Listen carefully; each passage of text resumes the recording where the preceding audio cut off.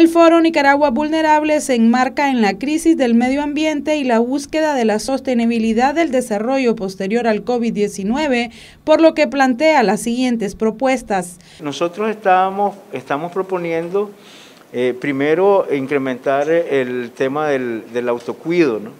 Eh, porque no, no se ha vencido la pandemia. El segundo, el ajustar el accionar de, la, de nuestras organizaciones hacia las cosas más... Eh, previsibles en términos del manejo de la sostenibilidad. Este, y tercero, el dedicarnos a las cosas esenciales. Nos parece que los niveles de prioridad deben estar puestas en las cosas más esenciales para la subsistencia en este momento. Nos parece que eh, hay cosas muy claras, la salud, la seguridad, hay problemas de seguridad pública, nos parece de que hay que gestionar los riesgos de una manera distinta. La gestión de riesgos, como la hemos venido haciendo, realmente no se corresponde con las nuevas realidades.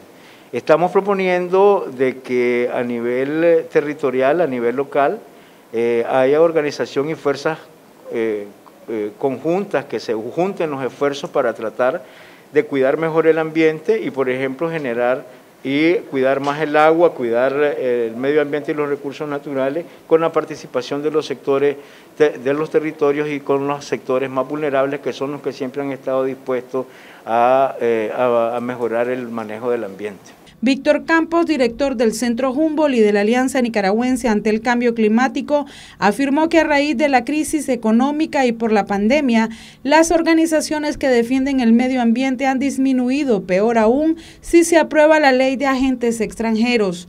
En general, ha habido una disminución de los recursos. Se sabe que muchas organizaciones incluso han tenido que cerrar. Afortunadamente, bueno, eh, desafortunadamente, verá para todos algunas que sobrevivimos, ¿verdad? Pero realmente no en las mejores, no en las mejores condiciones.